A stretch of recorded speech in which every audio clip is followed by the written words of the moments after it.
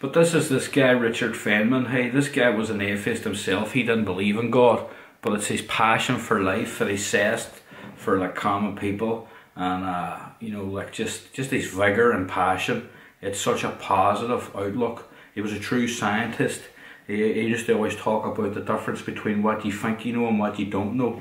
And uh, I would say a lot of scientists now are uh, are not uh, learning from the likes of Richard Feynman when they assert their confident belief in God or conf- confident disbelief in God actually, because you know, uh, I mean, as I said before, sciences like simulation theory and stuff like that are only thrown in the fists of scientists nowadays who are going to be, you know, very certainly confronted with the idea that maybe they are going to have to entertain, if not Jesus, if not Allah, if not, uh, if not Buddha, if not Atma, if not any of the so-called fictional gods, they will have to uh, confront the possibility of an intelligent, conscious creator, which uh, the data is now pointing to through simulation theory and stuff like that. So you know, suddenly these uh, confident atheists that find so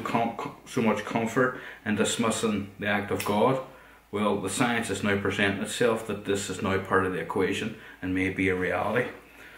But uh, first of all, before I talk about another scientist, I want to talk about Richard Feynman the guy I mentioned there. This guy's an atheist and he had a complete cess for life. He was uh, there's quite a few good documentaries about about him uh, available online, which are fucking excellent. Hey, no joke about it. This boy is a fucking he's a very interesting man. Such passionate guy, you know. Uh, he discovered uh, what went wrong with Challenger. If you don't remember that, there Challenger exploded, and the entire team at NASA could not figure out what went wrong with the ship. They didn't have a fucking clue. They looked at the rings, the technicality, the fuel. They looked at it all. The you know team of NASA scientists, the the people that sent uh, man on the moon as a collective whole, could not fucking figure out why the fucking Challenger ship crashed. But of course, uh, Richard Feynman went on there with his bright mind and you know bright fucking ideas and he has this ability of being able to look at things afresh and new. Uh, when he was growing up with his father back in the day, you know, his father taught him to think differently. He used to say to him, you know, try and think like a Martian. He would say stories like, you know, you wake up every morning. He said, look at human beings, look how they act. You wake up every morning, and as the sun is arching over the earth, people get up out of bed and the whole world over as the sun arches around the earth people are manically brushing their teeth all the way around until the earth goes around the sun and they stop and he says now not only is the sun connected to humans but they behave in a certain way uh, you know correlating with a sun and he says no the Martian that must seem so weird.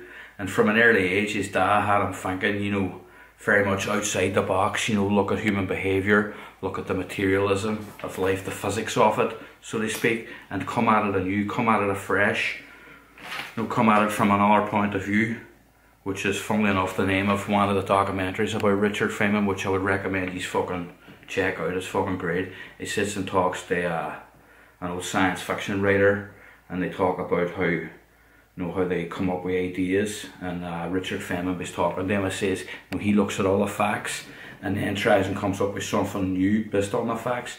But when he's talking to uh, Arthur C. Clarke famous uh, science fiction writer he's uh, he explains to him how it's completely opposite from him.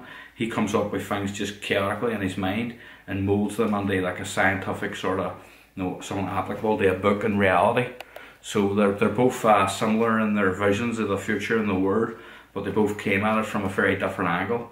But I is a is, is an outside the box kind of thinker. So he went on the, the, the Challenger situation when it exploded in NASA. I think it was 1983, 1989, somewhere along them lines. I remember actually reading the story, hearing about it as a child. Like I thought, Jesus, you know, going to going to the moon, going to space ain't all fucking glamour, is it? You know, people actually fucking die in that there. But uh, but he was able to go on, look at the rings, and he noticed there was ice crystals in some of the video footage. And within uh, a period of uh, a few weeks, he found out what none of the NASA scientists could find out, and he discovered it was ice crystals freezing up on the rings, the O-rings of the fucking, of the fucking NASA fucking rockets, and he quite uh, miraculously figured out the problem, which, you know, furthered our fucking reaches into space. And not only that there, but he's says for life, like, and his, his, his ability, to uh, you know, make people learn things by explaining it simply. One of his friends was talking about how, you know, they would read physics books and they could never get the gist of how experiments work, but when they would listen to Richard Feynman's lectures, uh, they would just be so easy to understand that when you would go back and uh, try and figure out how he taught you that so well, you wouldn't really understand. Was his inflection and his passion and telling you these things. You know, people people like fed off him, and uh, he had a friend, an artist friend, who was a very fucking interesting guy. This guy, he was big at part, and he, he, he used to say to Richard Feynman, he said, you know, you, you, you, you, look at the flower and you don't see its beauty. He says, I look at the flower and I appreciate the flower for what is the, what it is. It's a beautiful thing and needs to be, uh, you know, portrayed and expressed. No, he wants to recreate that. And he was trying to like dismiss Richard Feynman as being a scientific thinker, as being cold and detached. But Feynman said, no, he said, I, I don't think like that. He said, I think very differently from that. He says, to me, the processes of how the, the light photosynthesizes on, on, the, on, on the flower, they create, uh, you know, these beautiful bright colours that attract other creatures in nature just so they can, uh, you know, distribute their pollen on those flowers.